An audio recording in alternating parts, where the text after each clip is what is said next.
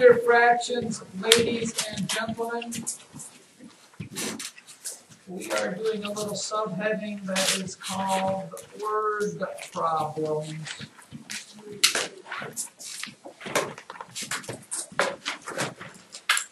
And then in ginormous, unmistakable letters, I need you to write this down.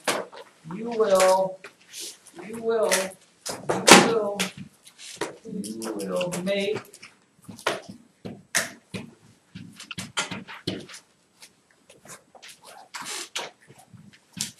fraction rectangles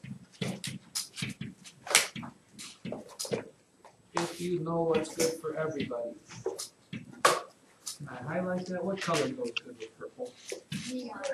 White, green, black, neon black goes to the. Oh. Make fraction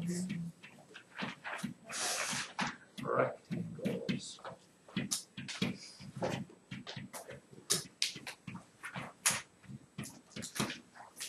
And here is Mr. Example problem. I think that will clear up any mucky waters of disillusionment that you may or may not have acquired over the last. Two thirds of the 12 musicians played guitars. Here's our example. Two thirds of the 12 musicians played the guitar. How many played guitar? This again is one of those things where some of you already know the answer. That makes no difference to me because this is just a matter of finding the process, not the answer. How would this look on your paper? First of all, you don't need to write out all of these words, but this is what you do need to do. Okay.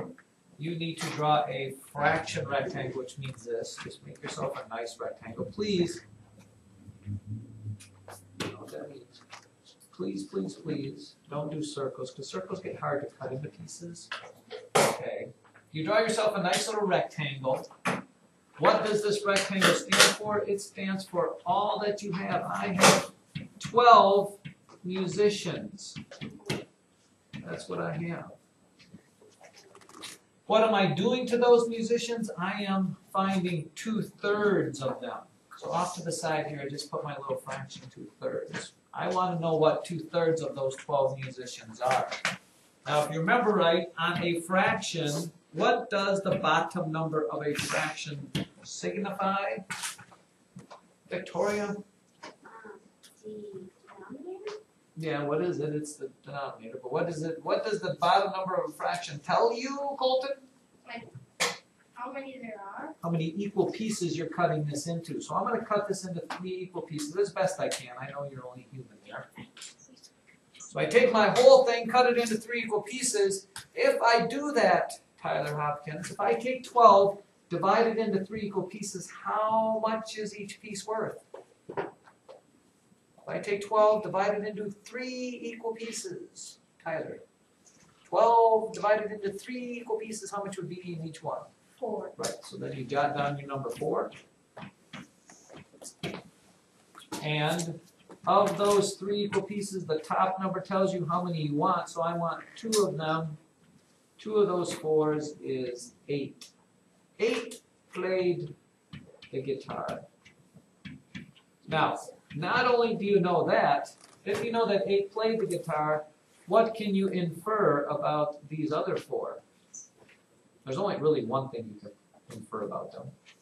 You can infer that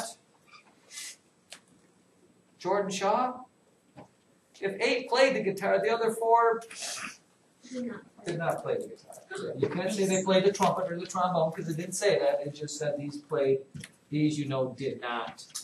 Because they might ask you that every once in a while, play guitar. So, ladies and gentlemen, this is what I need to see. When it comes to a fractional story problem, I just need the fraction rectangle, you cut it into the pieces, you label how many it's worth, you put the fraction you're using, you cut it into pieces, and everybody is relatively happy. Let's do one more, just because I can tell your excitement, and you really, really desperately want to get this right. How much is 3 fifths of $3? How much is 3 Fifths of three dollars. Which means I do what? I draw my fraction rectangle. How much total cash do I have here?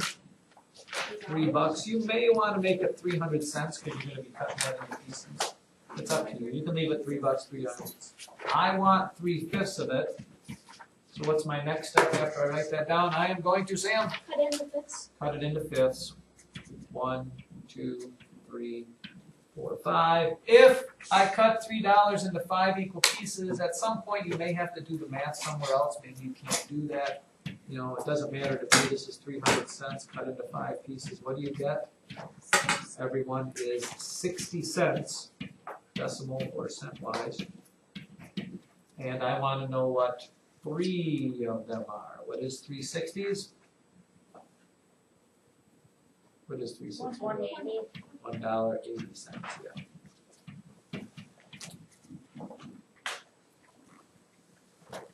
Does that look hard, easy? Easy. Medium. And then one last one, sometimes they will ask you a question like this. What percent of a whole circle? What percent of a whole circle is four fifths? And that really is the same thing, You're- it's a fraction story problem. This time though, your rectangle stands for what? Well, it stands for a whole circle, but a whole circle is what percent? What percent is a whole circle? You have all of it, yeah. This rectangle stands for one hundred percent. I am cutting it into four fifths, which means I do the same thing and I cut this into fifths. If I cut hundred percent into fifths, it's twenty percent each. And if you have four of those five twenties, you end up with eighty percent. Four fifths is eighty percent.